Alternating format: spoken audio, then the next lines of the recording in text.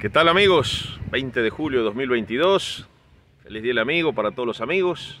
Acá estoy con mi gran amiga Marta. ¿No es cierto Marta?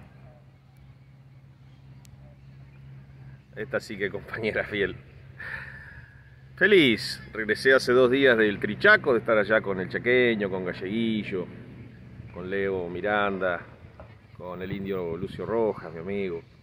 Bueno, y con otros compañeros más, ahí fuimos con Daniel Spinelli, con Sergio Melgarejo y Marcelo Jara, un viaje inolvidable, ya voy a subir algunas imágenes. Este, traje varias, varias charlas con amigos, bueno, gente que realmente le da condimento a la vida, ¿no? Este, los artistas somos eso, le ponemos sal a la vida, vivimos tal vez de otra forma. Este, no es soberbia, simplemente es una, una, forma de, de analizar a, a los que uno admira, ¿no? Este, ¿Qué decirles? Superamos los 8.000 suscriptores, estamos llegando a los 8.100. Este, la verdad que sorprendido. Este, vamos a empezar en breve con, publicidades, empresas que quieren apoyar esto. Así que, sinceramente, este, feliz.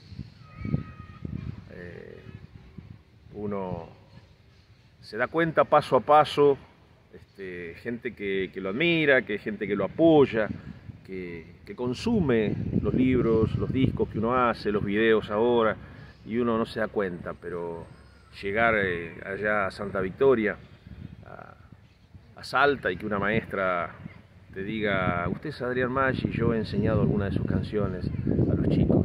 Realmente esas cosas son impresionantes.